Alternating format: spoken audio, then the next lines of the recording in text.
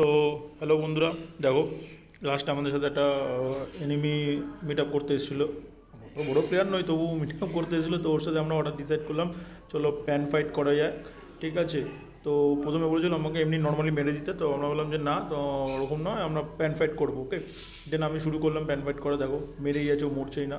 তো ফ্রেন্ডস এটা আমার নতুন একটা চ্যানেল তো তোমরা please please like and subscribe please please করে দিও ওকে ওকে চলো দেখো। দেখো।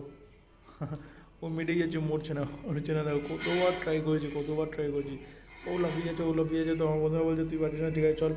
আমরা ওকে আমরা ইয়ে করছি। এরপরে আমার, আমি বলছি, না না হবে না, আমি ওকে মারবই। তো যাই হোক দেখো, এরকম মেরে যাচ্ছি। ও দৌড়ে আছে তো হঠাৎ করে কী হবে? এক জায়গায় দেখো, হট করে দাঁড়িয়ে পড়বে। তো ইজিলি তখন চিকেন ডিনার হয়ে যায়। দেখো হঠাৎ করে দাঁড়িয়ে পড়েছে।